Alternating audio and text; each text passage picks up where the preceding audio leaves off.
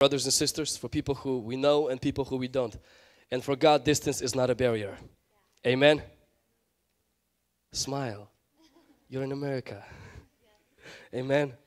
Amen. Praise the Lord. Uh, last Wednesday, uh, we talked about uh, God owns the night, and we talked about the power of dreams.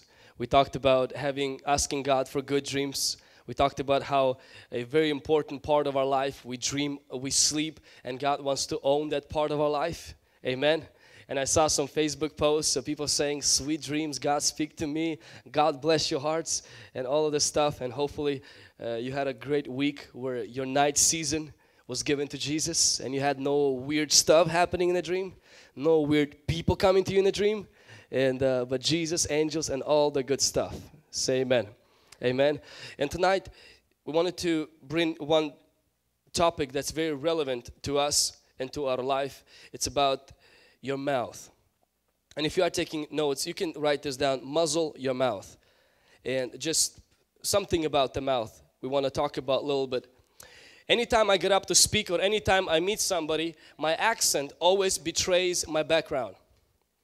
Even if I want to keep back and I don't want to tell nobody about the fact that I'm from Ukraine, the moment I get an opportunity to open up my mouth and say anything, my accent betrays my identity. But Jesus said it the other way. He says, out of the abundance of your heart, mouth speaks. It doesn't only happen with me, it actually happens with you as well. You may not have an accent, but let me tell you something. The moment you open up your mouth, you are actually revealing not just your background, you are revealing your heart condition, you are revealing what you are filled with. Because your mouth reveals your heart. That's what Jesus said.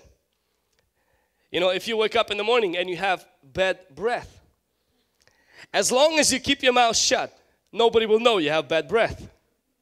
But how many of you know you cannot go on a whole day with your mouth shut? You have to open up your mouth to say hello to your mother, brother, sister. You have to say hello to your wife or to your husband. And the moment you open up your mouth, even if you don't say a word, a bad breath comes out and people can fall under power. Not the Holy Ghost power, the nasty power. Why? Because you cannot hold bad breath for a long time in your heart or in your uh, uh, lungs or in your uh, throat. You, you just can't hold it for a very long time. As the moment you open up your mouth, all of this stuff that you got on inside, that you kind of feel it, you have it, it comes out. You cannot hold it back. So the key when you have a bad breath is not to learn how to keep your mouth shut, is learn how to go to the bathroom and brush your teeth. The key when your heart is wicked when your heart is sinful, where anytime you open up your mouth and everything that's come out of, comes out of your mouth is sin, is blasphemy, it's filth, it's cursing, it's negativity. It's not to learn to zip your lip, it's to learn how to clean your heart so that you don't have to zip your lip. Where you can open your heart up and the only good stuff is gonna come out. Why? Because you have a good breath called the Holy Spirit who lives inside of you. We as Christians have the Holy Spirit and He is the breath of God and He lives in us and when we open up our mouth it's supposed to be a good breath of the Holy Spirit the breath of love the breath of mercy the breath of compassion the breath of power is coming out. Why? Because we are filled with the Holy Spirit. And when you are filled with the bad spirit with the horny spirit with the filthy spirit, with the dirty spirit, with the negative spirit, the moment you open these lips up, it comes out. The way you talk about news, the way you talk about USA, the way you talk about your school, the way you talk about your appearance, the way you talk about your weight, the way you talk about your job, your boss, your manager, your ex, your, your future, everything, it comes out. Why? Because when it's inside, you open your mouth, it will come out. The key is not to learn to zip your lip. The key is to learn to ask God to change your heart. And when He changes your heart, you know, you can be free to smile, to talk, because bad smell will not come out. The Holy Spirit will come out. Say amen. You know, God doesn't speak English. God doesn't speak Spanish. God doesn't speak Russian. And praise God, God doesn't speak Japan.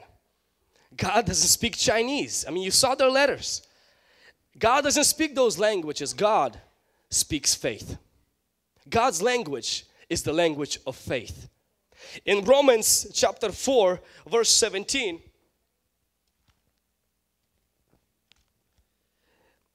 In Romans chapter 4, verse 17, it says, God who gives life to the dead and calls those things which do not exist as though they did. You know what the scripture is saying? This scripture is saying God's primary language is faith. God looks at things that do not exist and He calls them as though they do exist. It means he looks as a single person. You are a single person and it's your time to get married and you say, I cannot find a suitable mate for me and God sees you married. And God doesn't only sees that, He calls that.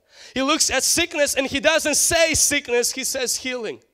And for us as Christians, we may look at that and we say, This is weird, this is not possible. Why? Because God's language is not English, God's language is faith. God speaks faith. God speaks faith into every situation that we face as people. See, I grew up with learning Ukrainian, and when I came to America, I know two languages. I'm bilingual. So, knowing Ukrainian makes me with difficulty to learn English. It's 10 years and I still struggle with pronunciation. I still struggle with learning the other language. I live in the United States. Even though my wife almost all the time speaks Russian. I most of the time speak English, but English is not easy to learn. As a Christian, you have to understand you have two languages. First is the language you were born with, it's the language of this world. It's the language of defeat, it's the language of doubt. It's the language of fear. It's the language of nightmares. It's the language of accusation, condemnation. It's the language of complaining. It's the language of whining. It's the language of cussing. It's the language of backbiting. It's the language of slander. It's the language of gossip. That's the language that you and I was born with. We grew we learned this language in our school. The TV helped us to uh, perfect this language. Our friends helped us to make this language sound more better without an accent. We know this language, but when you become Christian, you start learning a different language. You start learning that F word doesn't have to go in front of and after every single word. The B bomb doesn't have to go to make a point. And other words don't really belong there. Why? Because as a Christian, you are learning a new language, and that language is not Christianese, that language is faith. That language is not just to be able to put Jesus and the Holy Spirit in front and at the beginning of every sentence. No, it's the language of faith.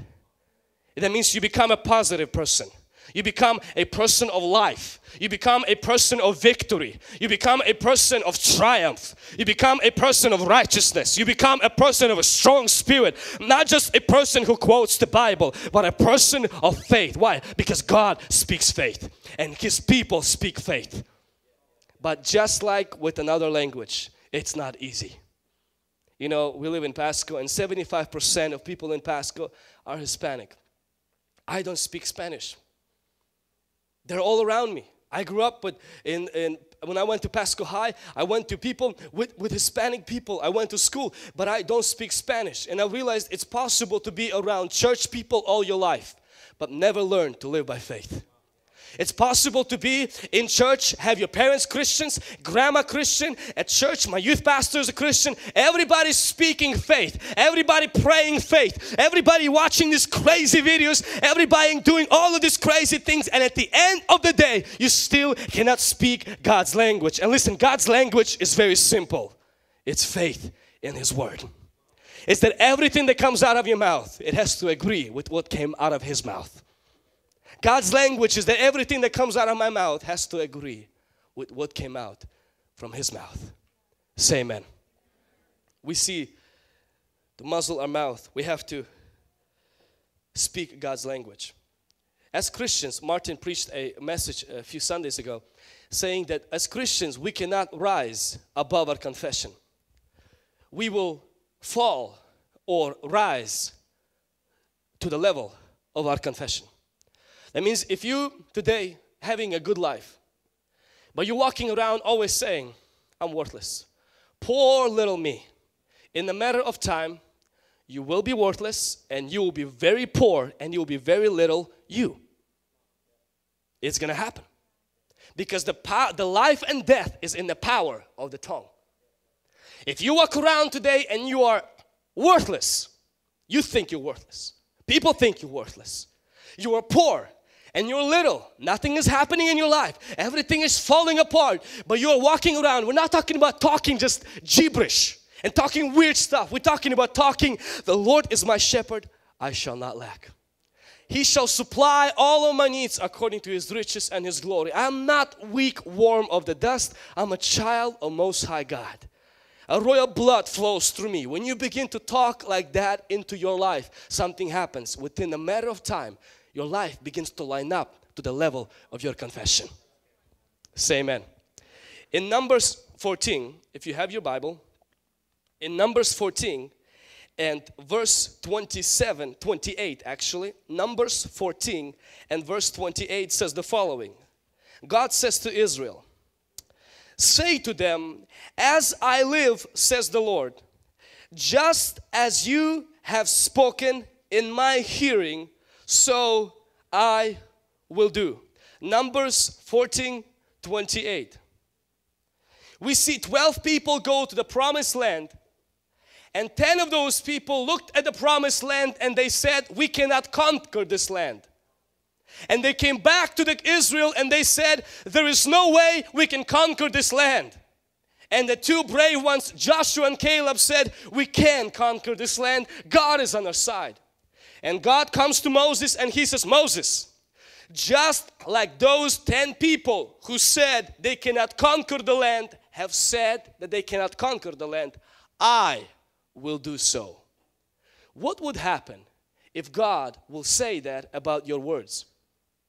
What would happen if you wake up in the morning and say, This is going to be a bad day, and God says, I will make it a bad day? What would happen if God said, Just as you have said it, I will do it? The problem is that God promised the land to them. Why God did not say, Just as I have promised, I will do? No, God says, just as you say it, I will do. Which lets us know some of our life is byproduct of what we have spoken about it. Some of our life is byproduct of what we have spoken about it. There was one man in the Bible, his name was Zechariah. And Zechariah was an uncle of Jesus and he was the father of John the Baptist. Five words that he spoke to God cost him 40 weeks of silence. Five words that he spoke to God's angel cost him 40 weeks, nine months of silence, which lets us know God takes your words very seriously. The things we say to God, the things we say to us, the things we say about us, God takes very, very seriously. Say amen. And so we see that we have to have our words corrected and right words before God. In Proverbs chapter 6 and verse 2, Proverbs chapter 6 and verse 2 says the following You are snared by the words of your mouth, you are taken by the words of your mouth. Solomon, in the wisdom that God has given him, says, You are snared, means you are trapped by the words of your mouth means the words that you say actually can trap your life because they will put a limitation upon your life. They will put a chain in your life. The words that you speak over your life or over the life of other people can trap your life. And some of us, we are not trapped just by the enemy, we are trapped by our own words. And God wants to learn us to set ourselves free by the words that we speak and the words of His mouth. Say amen. Our words are very important. An average person speaks 24, 25 to, to 30,000 words every single day. Uh, today eating dinner, this is not approx this is approximate about 25,000, not exactly because I would go crazy trying to go to count 25,000 rices. This is about 25,000 of pieces of rice in this bag. This is how many words you will speak tomorrow or today in your life. Now, God's words, God compares to a seed that God throws away and it goes into a soil and then it produces a harvest. Your life is like the soil, and your words are this seed. And what happens is every single day when you wake up, you go into this bag and you go like this. And you just, and you sow into your life. You sow into your life. And then after breakfast, you go back and you sow into your life. You sow into your life. I'm a worthless. I will not make it. I'm so stupid. Man, that thing, I look so ugly today, man. I'm gaining weight. All kinds of words, good words, bad words, and we just keep sowing. This is just happening in one day. And some of you cannot see this, but this is becoming wider and wider. I have the permission to do so, so don't worry. I talked to our janitor. She said it's okay. And so we're sowing every single day. We're sowing these words. We still have a lot. And girls, they do it faster. It's, it's like this. It's just it's just nowhere. They just they just talk about who knows what. They just keep talking. Guys, we have a purpose. We're talking about something that has to be important. And for girls, it, sometimes it goes just like this. This is first day. This is first day. The next day, another bag is open. Another bag is open. Another bag is open. And we, what we think is this, is that this is just a word. This is just just a seed. It has no it has no effect upon my life, my friend. Do this to your field as a farmer and within a year you're to see an effect. You will reap what you sow you will reap from the kind of words you sow 25,000 seeds you throw into your destiny every single day. Don't you think you're to reap something out of them? You will. And Joel Osteen uh, shared a story once. He said when he was in high school, a one guy in the gym who was actually a very handsome man and who was a great basketball player and people came to him and complimented him and said you know you're such a strong man. You're such a great basketball player. And this man would always say oh I'm just a I'm just an old gray and fat nobody. He would always say that try to you know belittle himself. Try to not to look as you know, good as maybe not to be proud. He always would say those words, I'm just an old, bald, fat nobody. And Joel Osteen says he met him 25 years later. He says he could not recognize him. He says he was bald. He was nobody. He was fat and he looked miserable.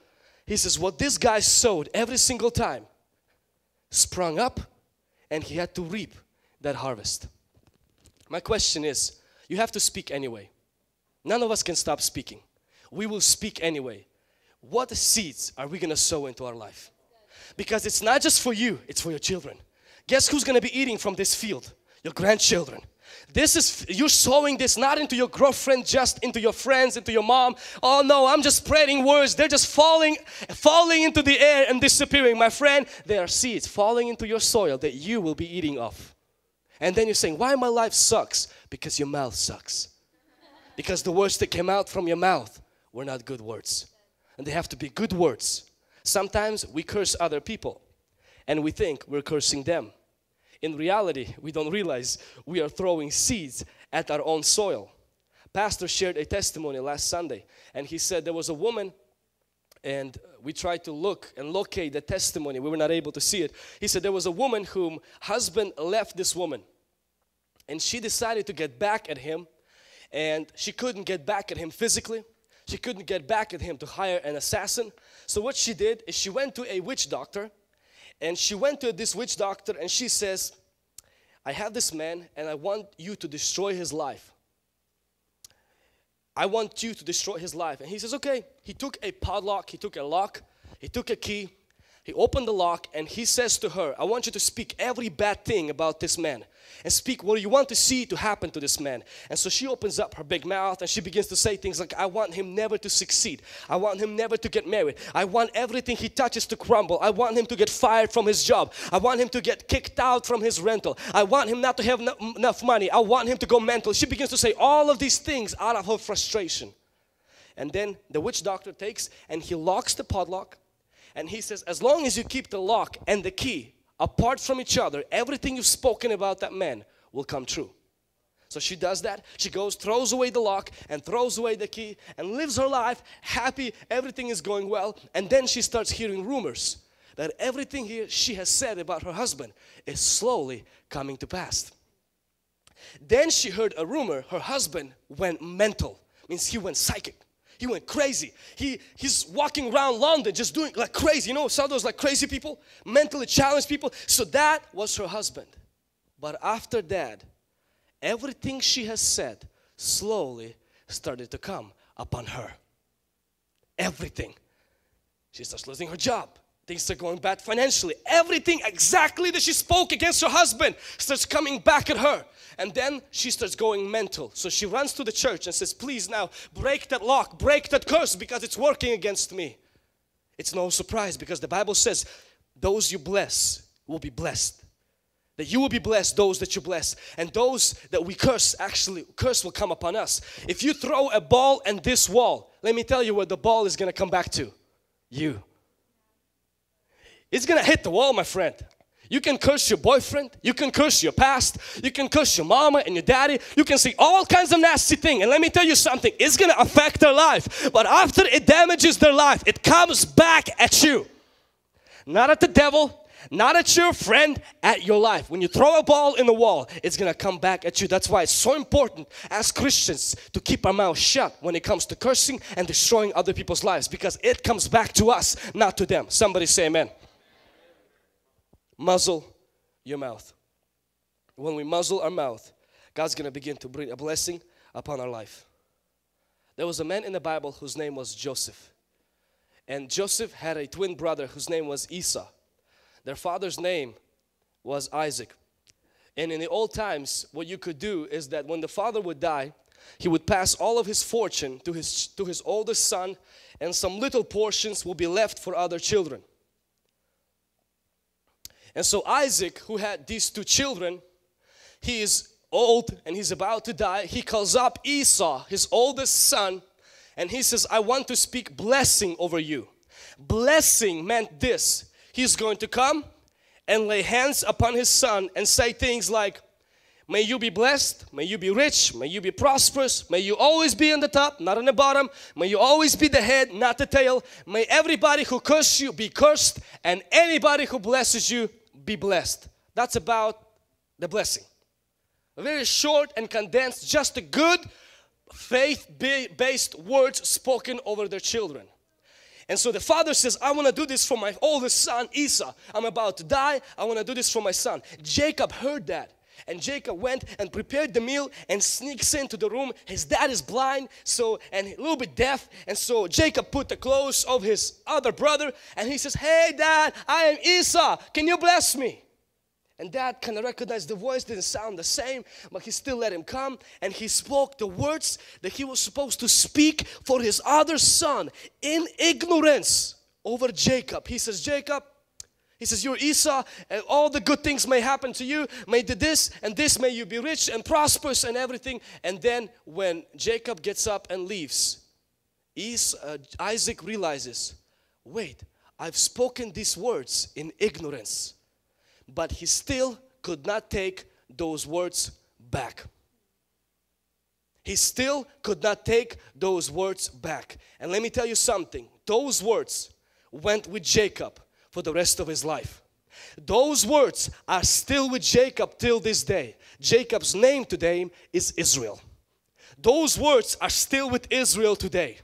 And we have to understand, Jacob, Isaac could have said, I did not mean that. That was the wrong son. He cheated me. He lied to me. That did not matter. Once you say a word, it doesn't come back.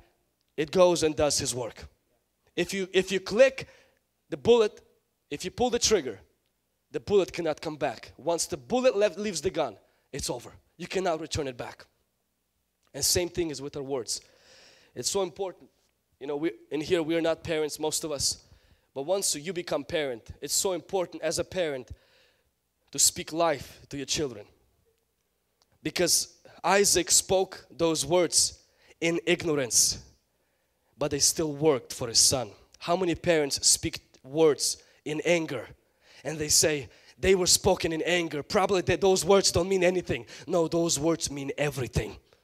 Just because they were spoken in ignorance or just because you were upset or because you were frustrated or because you were feeling down and lowly that does not mean those words that you speak don't have power and have effect. Isaac was completely blind and deaf and couldn't hear properly and his son lied to him. But still those words were powerful and they worked for his life. My friend the words that you speak when you're frustrated they mean something they have power in that moment. Do not just discredit them and say those words mean nothing because I was upset, I was mad. That's what everybody does. No, those words have power.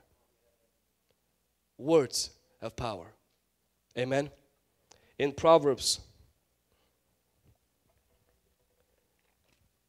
and I've quoted the scripture.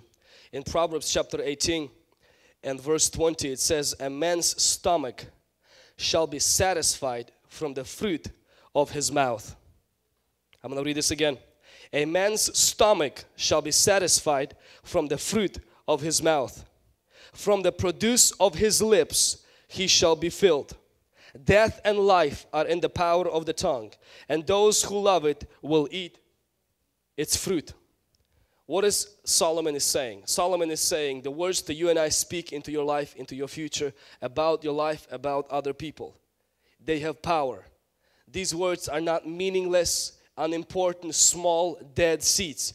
These words, they will take root in, the, in your life and you will eventually eat of the fruit of your mouth. Your stomach is going to be satisfied or tortured by the fruit of your lips. What you say or don't say will affect your life. A teacher in 1970s was a teacher in college and she was teaching music in college in California. She had a student who came to her class whose name was Edward. And Edward was over six feet tall. And he looked very skinny, but not skinny as that he didn't eat, but skinny as just terrifying skinny. He always looked very scary even in his face, always sad and always coming with his head down.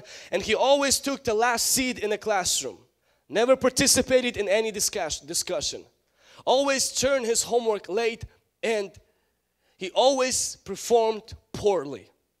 And the teacher noticed him and always felt compassion for him and tried to start a conversation with this guy named Edward, but he didn't respond. His answers were not even yes or no, but he didn't even talk. She would see him during lunch through her window and he will always eat alone, eating his sandwich, looking in space, and minding his own business. It seemed like he had no friends.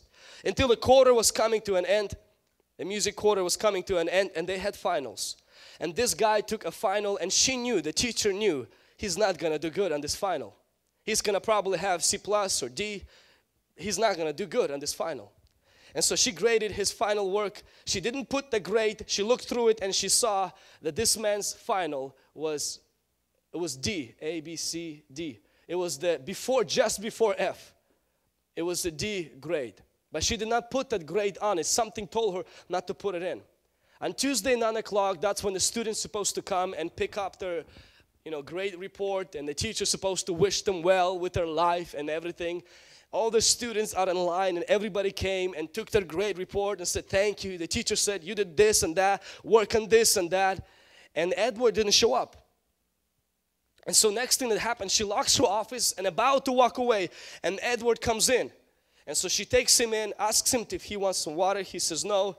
And then Edward, and this is actually exact words of his that I'm going to read to you. So this man sits down and he says, I know that I'm getting a low grade on my final and my class. I realize that I have been participating, I have not been participating in this class and I am an embarrassment to others. I am lazy, I am selfish, stupid and ugly, no good for anything person.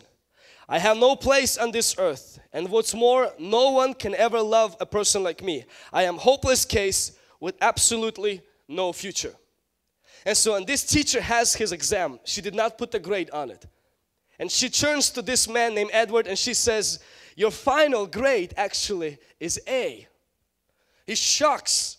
He says, for first time he's actually speaking, he says, it could not be. I did really poor job. And she says, Edward, you are a D student, but you are an A person. And because you are an A person, he says, this time you will have an A on your exam. And so he takes his exam and he actually gives her a hug. Out of joy, he leaves the, leaves the classroom and starts walking. And so she goes home and she has these thoughts. She's like, I'm known for my discipline. And right now I gave this guy a grade that he did not deserve. This is actually not illegal. This is not right for a teacher to do. At three in the morning, this teacher gets a call. It's from a priest of a local Catholic church. And at three in the morning, this priest says, Is this teacher so and so? She says, Yes, this is me. She says, Do you have a student named Edward? She says, Yes, I do. What's going on? She says, I want to let you know why I'm calling you. She says, Today, in the morning of today, the reason why this student came late to receive his great report is that he was busy writing a note to his brother. He has an older brother who is very short, very smart, and very athletic. And this Edward is very, looks to his older brother as a hero and his older brother always, always calls him with names and diminishes him. Parents are never there and he says, Edward always felt low self-esteem, felt horrible about himself. And so he says, today the, the, the straw broke the camel's back and he wrote a note that he put on his pillow that says the following. I am sorry that I could not be the kind of son and brother you wanted me to be. All I ever wanted was to be loved. I am sorry for being unlovable. I will go now. You will find me in the closet. I am sorry for any inconvenience I have caused you. Please have my body cremated. My small savings is in the top right hand drawer of the dresser. He leaves this note on his bed and he went to you just to pick up his last grade because he knew it's going to be bad and he was supposed to go back and hang himself in the closet. He said the problem is that he never came back home because of those words you've spoken to him. He went to the park and out of excitement start thinking about them to that degree that he forgot he was supposed to kill himself. And he says now he came to church to ask for forgiveness and he wants to start his life again. This student came back and he was a student of this teacher. Next quarter, he helped other students and today he's a doctor in California and he has four children and he's helping other kids who are struggling with suicide. Don't talk to me that words don't have power. Life and death is in the power of a tongue. Come on, put your hands together for this guy and for his testimony.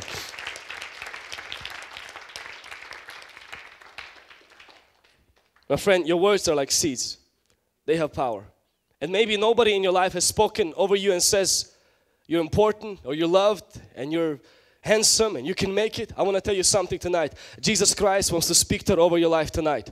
And He wants to tell you that He loves you and He cares for you and you don't have to take your life because He already gave His life so you can have your life and live it to the fullest for the glory of God. And God's Word can cleanse you and purify you and every day you can take God's Word and sow it into your life and your life to flourish and grow for the glory of God. Somebody say amen. God's words are seeds. My friends, God wants to realize the power of your words because in the power of his words your life can be changed. Amen. In james chapter 3 with lack of time james said he says that we put a bridle on on horses mouth. So with that we can control horses. And he says the same way any man who bridles his mouth he says that man is perfect and he can control his whole body and then James goes on to describe in James chapter 3, he says that nobody can tame the tongue, means nobody can control our mouth. But we can surrender to the Holy Spirit. Molly, would you come up for a second? Everybody give it up, give up for Molly.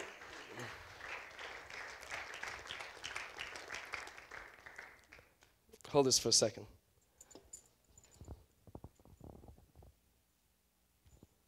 This is, I just want to read this as she holds this. For we all stumble in many things. If anyone doesn't stumble in word, he's, he, he is perfect person, able to bridle the whole body. Indeed, we put bits in horses' mouth that they may obey us, that we churn the whole body. So Molly, Molly in here, she drives from Prosser and she knows one or two things about horses that I and you don't know. How many horses, Molly, do you have? Two. She has two horses. And how many horses are you trying to buy? Another one. Another one. She said she wants to have as many horses as they had in book of Revelation. Uh, Molly, you ride horses. Why is it important? First of all, what is this? It's a bridle. It's a bridle. Okay. What is this bridle supposed to do for the horse? Uh, it's a way to communicate with the horse and to control the horse speeds and whether it's going to go forward or backwards or away from you. What if somebody like me gets on a horse and we don't have a bridle? I'll wave at you as you go somewhere else. So, um, no control. You'd probably have a very short ride. The Bible says that as a Christian, Holy Spirit is your writer. And this is the Bible that God wants to put into your mouth.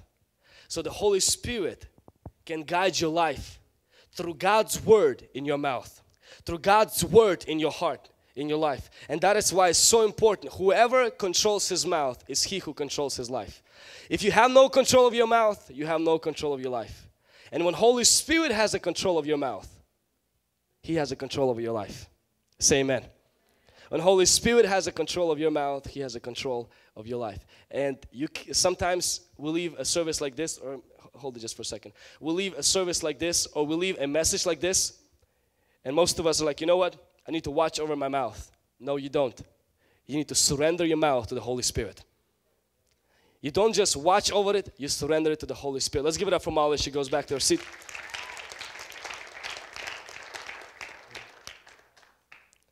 And we have a few more things to share, but uh, just finished on that. James continued to talk about, he says that your mouth is like a rudder in the horse, and then he says your mouth is like fire.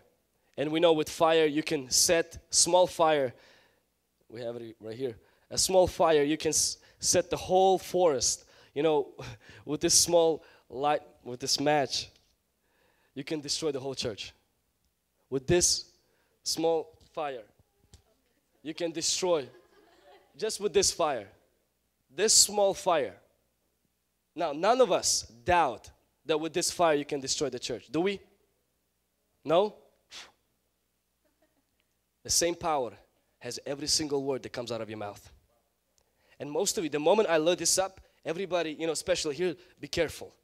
My friends, we have to be more be careful of our words than of fire because this fire can destroy this physical building but the fire that comes out of your mouth will destroy your spiritual life will destroy your family will destroy your relationships will destroy your reputation and can destroy anything and did you know when Holy Spirit comes upon us the first thing that he changes is our language the tongues why? Because he knows it's very hard to control this thing and so he wants to take control of it. Why? So he can set the world on fire for him. That's why God used the tongue of, of disciples. He used the preaching, He used the prophesying, He used the praying and the praising and proclamation of disciples to set the world on fire. If you want your world to be on fire, you let Holy Spirit take control of your tongue. And when, when your tongue is taken by the Holy Spirit, your life can be on fire for God. Amen? Put your Bibles away. I want you to stand to your feet.